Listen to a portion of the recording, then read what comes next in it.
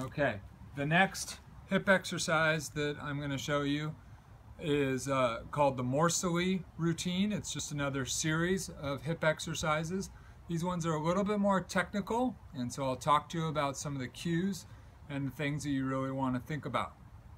Uh, these are named after Noureddine Morceli, who is an Algerian 1500 meter runner, former world record holder, uh, Olympic champion, and uh, world champion in the 1500 meters. And it just so happened uh, he attended community college at Riverside Community College. So some people in uh, around 1990 had the pleasure of running against uh, the future world record holder. Um, lucky them, huh?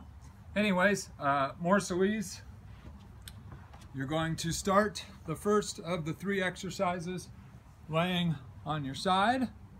And you want to think about your pelvis and the position of your pelvis. You want it vertical or slightly angled forward. And when I mean forward, I'm rolling towards the camera.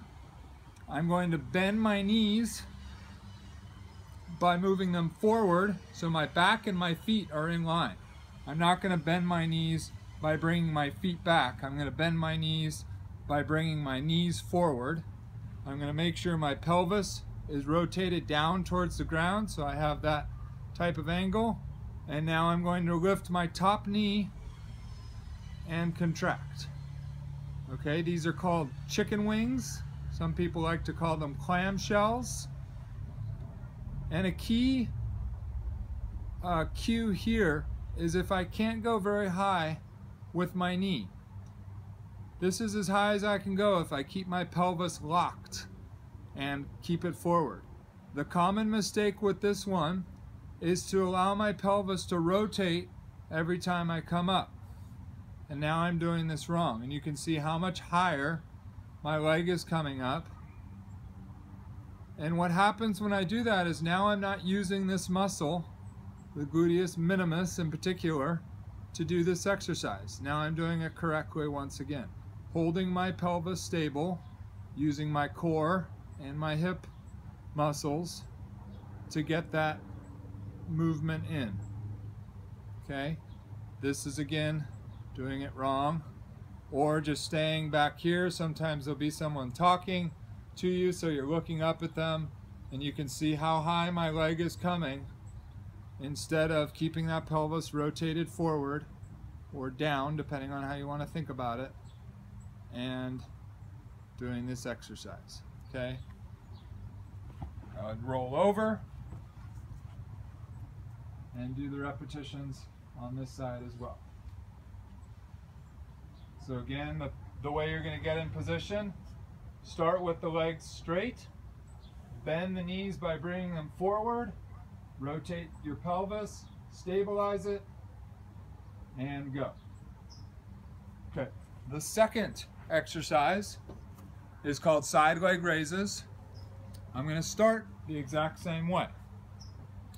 I'm going to bend, I'm going to lie on my side, bring my knees forward, engage my pelvis forward and then I'm going to take my top leg and I'm going to straighten it so it's right over my foot and then I'm just going to push it back a little more so it's kind of behind me. I'm going to adjust a little bit so you can see.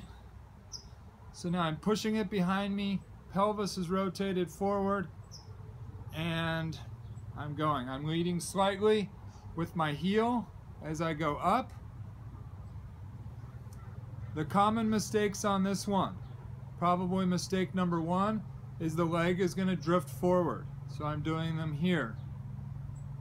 But we want to be back here so that I'm working the gluteus medius, that hip muscle. If I drift forward, I'm starting to use the muscle in front. For runners, this muscle is already really strong. This is the weak muscle that we want to work. So we need to keep that leg back behind us. And then the other mistake is that we unstabilize that pelvis or roll it back. And again, now I'm using this muscle in front to do the exercise. And so I need to keep my pelvis rotated forward and the leg back behind me. It's a little bit of an awkward position, but when you get it right, you'll know it because you're gonna feel those muscles in your hip or your upper glute contracting.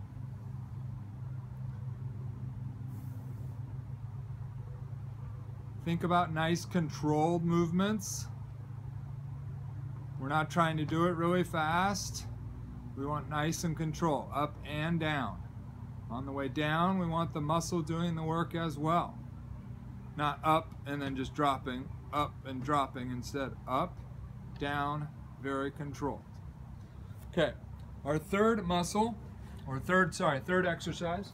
I'm gonna switch sides. Is that hips getting fatigued?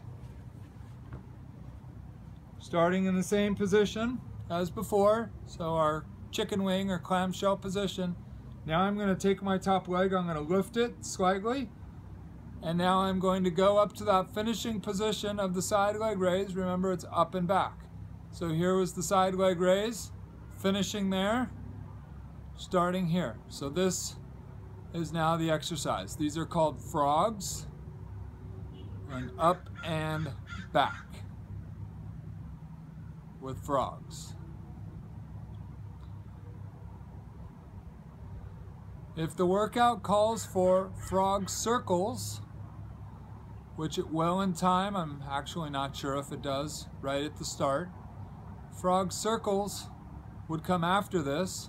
So let's say we had 30 repetitions of the chicken wings and the side leg raises. You would do 20 of the frogs, and then you'd get to here after 20, and then you're gonna do 10 circles forward, 10 circles backwards.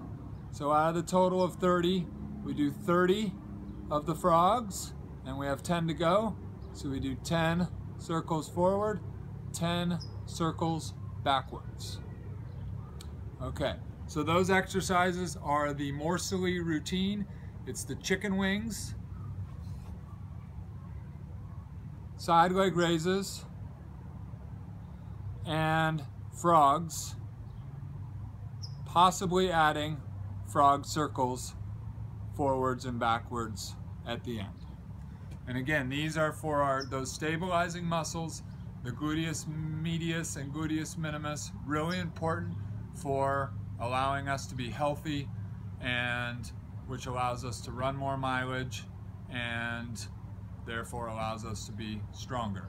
One other thing that I'll add is when we get these muscles really strong, they do allow for greater force production down into the ground as well, which helps with our speed.